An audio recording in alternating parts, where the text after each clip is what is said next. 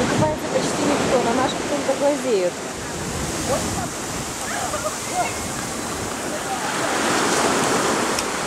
Yeah.